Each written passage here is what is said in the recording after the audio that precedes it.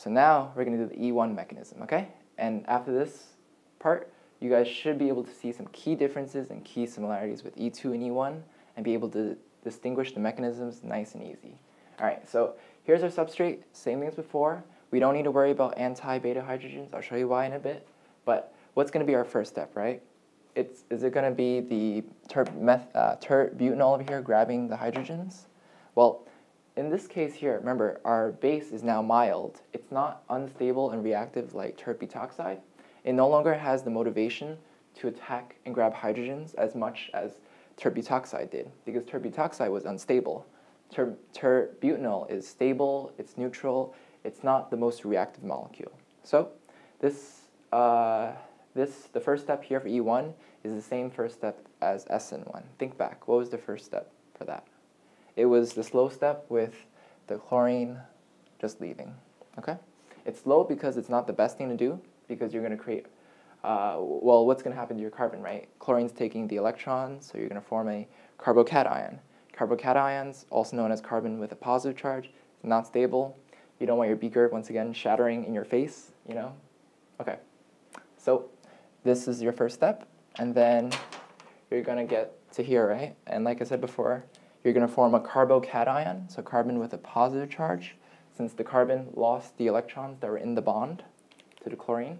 And then you're going to form also a chlorine minus ion, right? Okay, because he got electrons, so now he's negative. Anyway, so now you have the positive charge.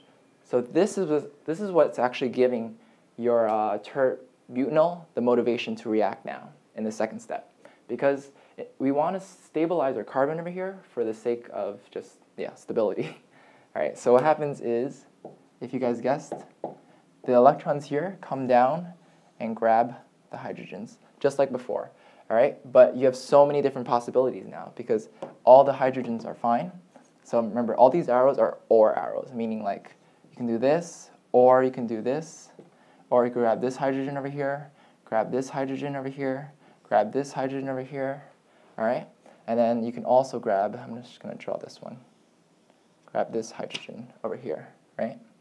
Oh yeah, and sorry, one more thing before, I forgot to draw equilibrium arrows. Make sure you draw these when you do your mechanism uh, for each step, you must have these equilibrium arrows. That's why I have them here. Okay? But anyway, you grab your hydrogens. There's so many possibilities now. You don't need to worry about if it's anti or syn because if you take a look, now instead of having a leaving group here with electrons, we just have a carbocation. It's basically a carbon with uh, yeah, no electrons, so there's no repulsive force anymore. So your uh, tert-butanol can just grab your hydrogen, perfectly fine. No, no repulsion force. And then after you grab your hydrogen, hydrogen, what happens to the electrons in the bond, right? They go, the same thing that happened in E2 is going to happen in E1 now. You're going to want to stabilize this positive carbon here by migrating the bonds over to form an alkene or a double bond. It's the same for each of these, Like, I'm not going to draw it or else you guys aren't going to be able to see anything. There's too many hydrogens here. So I'm just going to draw it with this one over here and this one over here all right? So, and once again, these are all OR. So on the test, you want to draw separate molecules. Don't make it so messy like I did over here. I'm just doing this just to save space.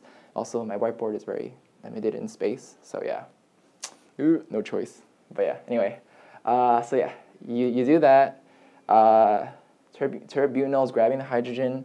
Electrons are freed up. They can resonate over to form your alkene. Uh, what's your next product going to be? Let's see.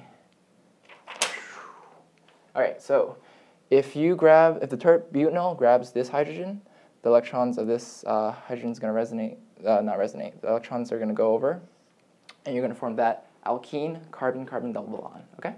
So this is going to be your E1 only product, all right? Because this one, only in E1 can you attack a hydrogen that was originally syn with your leaving group. But these guys here, if you attack any of these three hydrogens, one, two, three, all your electrons are going to go and form a double bond right over here. Okay? Sorry. Oops. All their electrons are going to form a double bond right here. Okay? This is going to go over here. This is going to go over here. This is going over here, giving you this product right here. So this one's going to be E2, right? And E1 as well. Okay? And the same is true for this case over here. E2 and E1.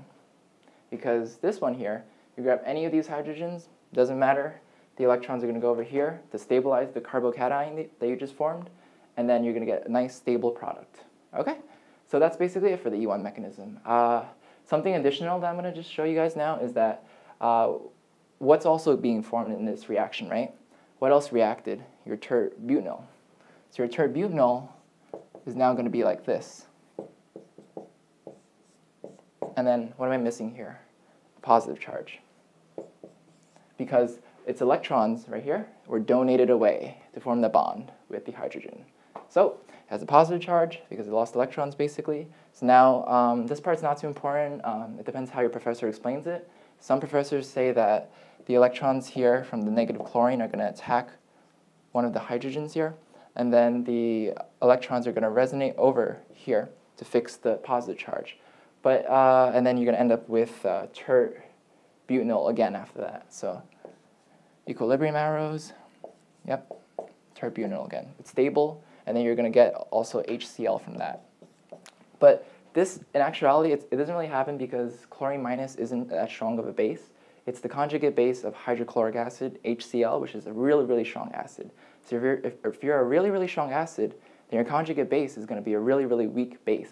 So it might not have the power to do this. So it, it could be like a water molecule, molecule grabbing it, but this is just, it's not that important for E2, E1. It's just like a little side reaction.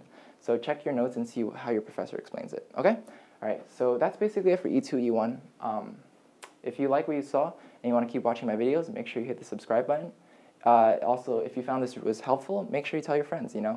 Let's make Orgo a, a little bit more enjoyable. All right, see ya.